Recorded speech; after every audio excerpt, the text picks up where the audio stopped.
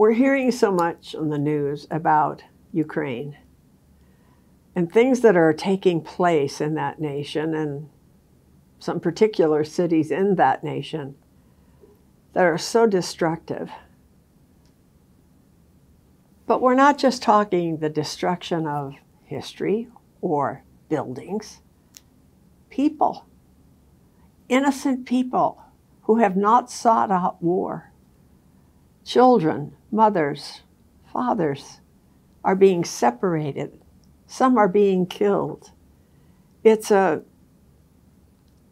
it's astonishing to watch this on television. I found myself almost constantly in prayer. I don't want to sound like I just go around praying all the time, but it's in my heart. And last night before Tony and I went to sleep, we prayed for Ukraine. And I would urge you to do the same. This isn't a time for us to make judgments about Russia or Ukraine or other nations or the UN or anything that's surrounding this particular situation. It's a time to pray for God's intervention. You know, one of the words God gave me the first of the year was the word exposure. And I believe some things are being exposed that are not very pretty to look at. And we may see exposure in nations around uh, Ukraine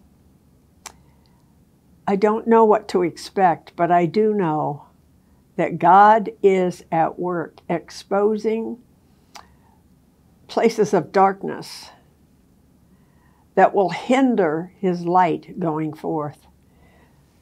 The victorious thing is that his light goes forward no matter what. In darkness, in destruction, in evil man's mind and things they conjure up, the light of heaven still goes forward.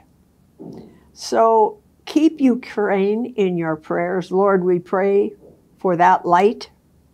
We pray for hope. We pray for joy. We pray for a sense of excitement that doesn't make sense. They've just left home and hearth and homeland but you can turn this for good.